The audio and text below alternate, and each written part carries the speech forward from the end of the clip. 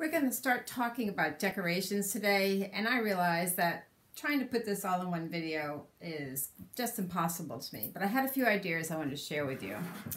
And I prepared a few tabs, or what are these called? Tags, and die cuts, even the cute little envelope I showed you that you can put a message in, and some side corners that we can add, and even a little envelope with a see-through pocket. No pocket yet. So I'm going to start with one that I've done, a page that I've done. And this is our last fold over page. And what's interesting about this is you, I want to make it so I can put things that stay in there without a lot of work and that are protected from grimy little grandchildren's hands. um, by putting a piece of acetate over the pages, um, you can still use the page and whatever you put in that page will stay in place. And I did this by adding a little teeny eighth of an inch adhesive to the top and making my acetate a quarter inch shorter and then adding a piece of paper on top. And I'm going to do one with you. Started preparing. I'm going to go way back to page two. And what I've done is I've cut a little strip of paper, the digital paper. I'm going to match up my birds when I put this on. And so that you probably won't even be able to tell that there is um, that there is a continuation. I, I tried to get the same piece of paper and all I did was cut off, I think it's a half inch, let me check. Actually, about a sixteenth more than a half inch. I cut it off of the digital paper. So let me show you. I have a piece of acetate here, and I put my measurements ahead. I'm going to do three samples with you. This one is going to be five and three quarters wide, and this is an eight and a half inch piece of acetate. I'm going to cut it at eight inches and it's going to fit right here. And then in the back of the album we have a small photo layout and I'm going to make that three and three quarters by six and a quarter. Then I'm going to make a little teeny piece of acetate for that. I'll just show you how easy it is. It's hard to see the acetate, that's why I kept the little tissue there. So my first cut is going to be at five and three quarters.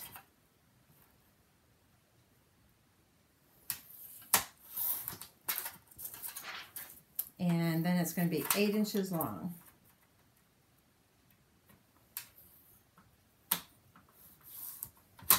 It's sort of weird because you're working with something almost invisible.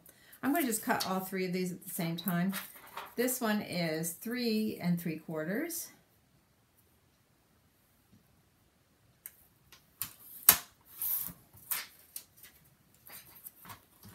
by six and a quarter the whole thing is six and a quarter, so I'm going to just do a six and an eighth.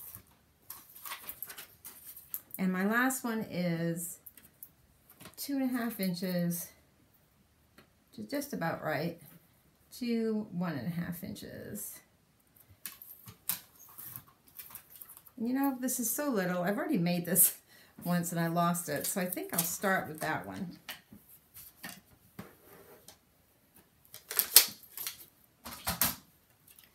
What I've done for this one, it's on the inside of the page, so it's a little easier.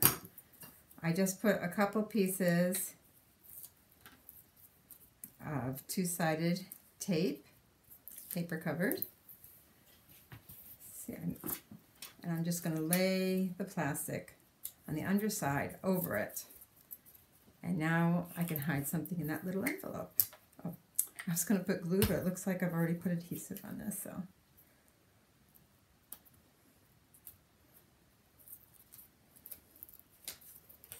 So any size envelope you want to make um, would be a nice addition to add little secrets to your album. But here we have a lovely little envelope. You could add something to it if you'd like. Um, our little cards that I've been making would fit right in. Messages would fit right in. You could add a message to the back of your card. It even shows a little picture in the middle. Okay, back to this page. I'm just going to open this up, make it a little flatter. I'm going to take the eighth of an inch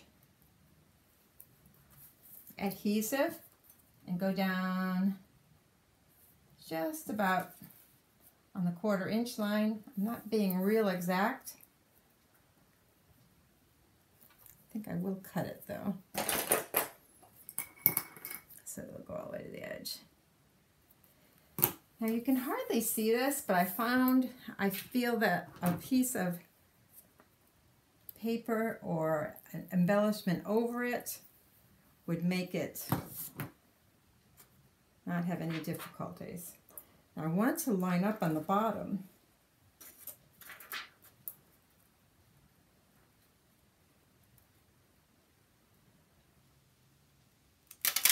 A little wide.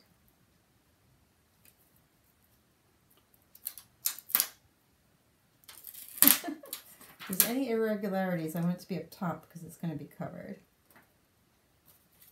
Okay, I'm just rubbing my finger across.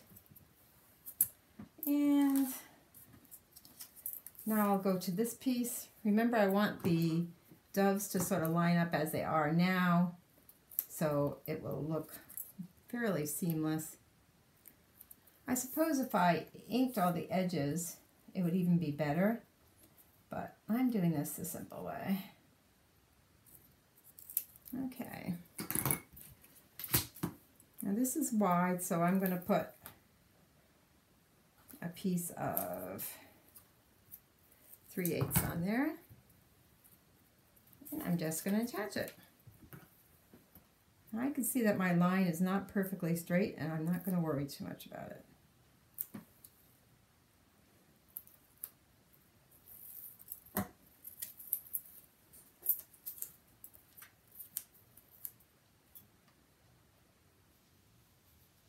So I'm lining this up with the top.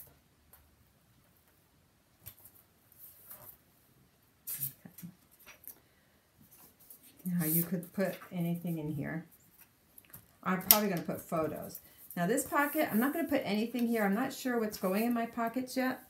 Um, I decided it's really hard to decorate when you're not ready. So now I'm going to flip, flip to the back page. So we've done two plastics. We've done the little envelope We've done our page number two. I'm on page number seven now, and we added this little photo file. Okay, I'm just going to destroy that. Open my last page with that little flip. And I'm going back to that skinny little tape. And just putting a piece at the top.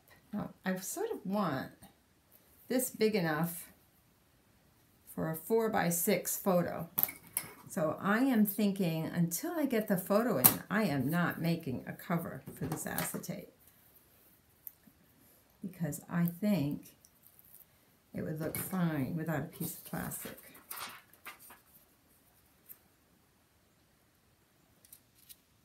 Actually, I, I measured this. I'm going to say that I measured this wrong. I think it should be longer. So let's see where my ruler is.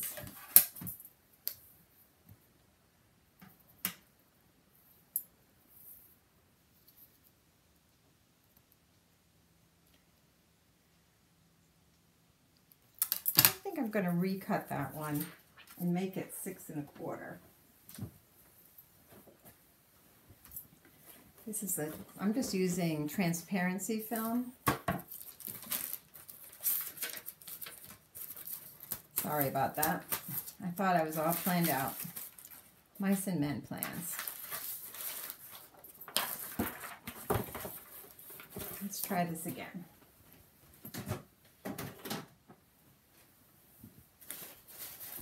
paper I threw away. Let's check what I wrote originally. I wrote six and a quarter and I cut it less. And I think I'm going to go to six and a quarter. So three and three quarters. Let's try this over again.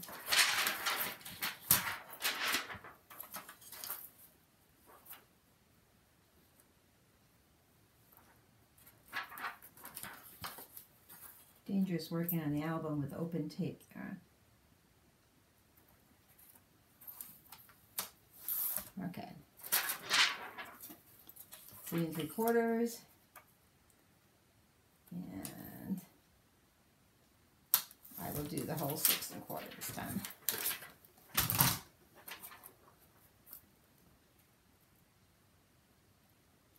And by doing it that way, I think it will fit photo. Let's see, got a four by six. I'd have to trim it down. This is a whole four by six, so I'd have to trim the sides down. Yes, I think that will fit a photo lovely. And I think, yep, the magnet still holds. I have, the photo obviously has to be trimmed, but that would work. Okay, let's move on to a couple of other decorations that are optional. That's my last page. Well, even this page here, just, let's just see how that sits there while we work. okay. Now, I wanted to talk about these main pages. I actually like how the color is. And so what I did was I went backwards and found the same paper and I put it in a flip flap. So my idea is to make this so there's just one photo there. Now I could have a photo on top showing. I don't know. I might even have a mat. I might have a small, again, I can't work without my photos. I'm sort of hindered. So I'm going to take the edge off my flip flap. And throw it in the trash, threw it on my desk, not a smart move. Um, see this little white there? I'm going to try to line it up right, same exact pattern. One dory of digital paper. You can print whatever you need. Can't quite let that flop, can I?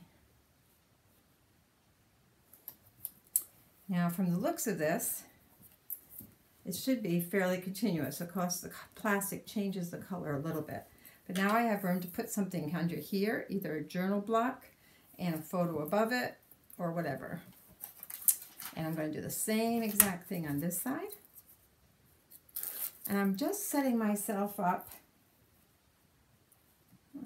I'm setting myself up for a mistake because I don't know if that's straight or not. so I'm going to take that off and make sure it's straight. Did it by my eye and I'm not sure if that was a wise move. Raise it up just a little. Okay, that looks perpendicular. So this is a little over three quarters done. Now here you can see the coloration there.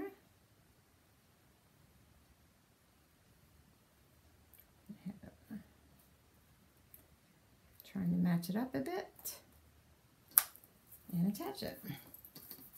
There we go. So I have some flip-flaps all ready for pitches. We already have lots of room here for smaller pitches. This gives us a little bit bigger. And we continue. We lift up our flap, and I think I'm going to put one there. I also added a corner in the pocket where you can stick something in.